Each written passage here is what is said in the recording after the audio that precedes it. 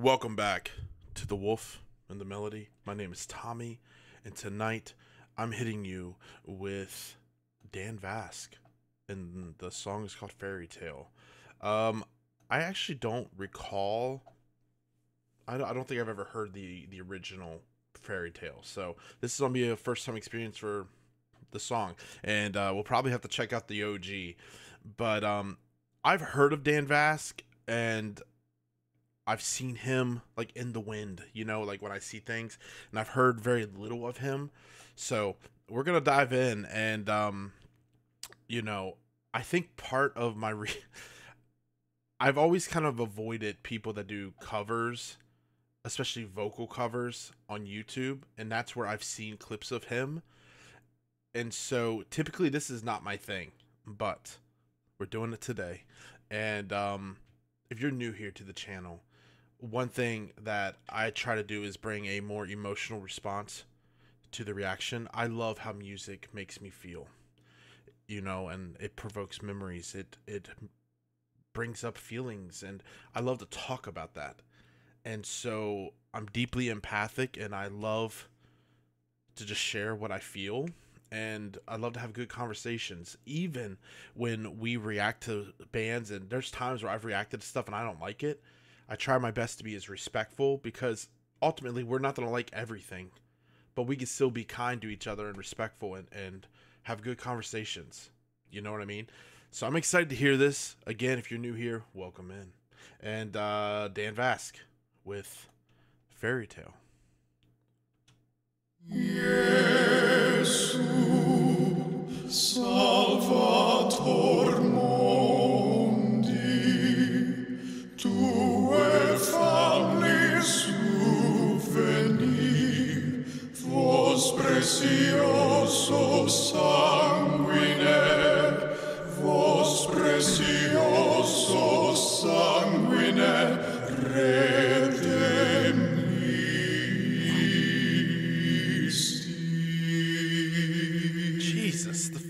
dude.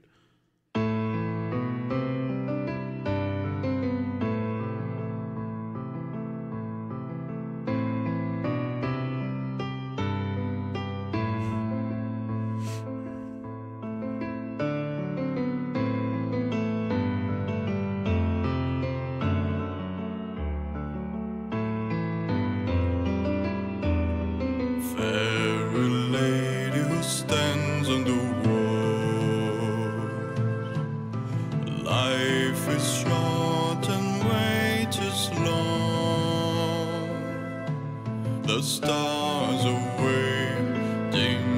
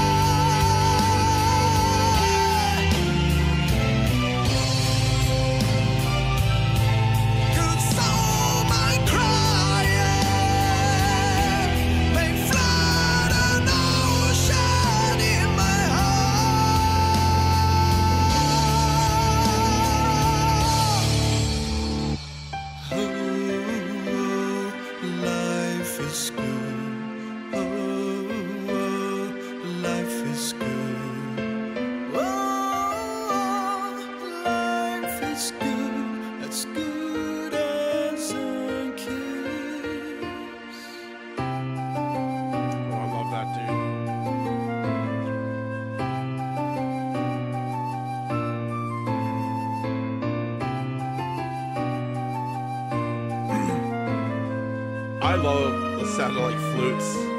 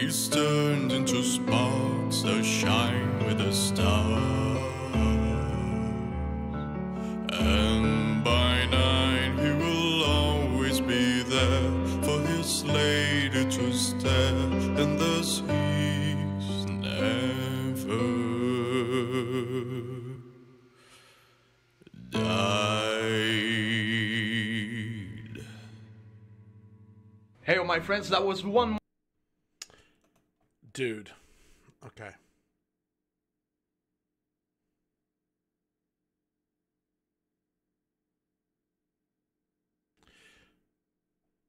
There was yeah, there was some moments, man, where I was just like whoa.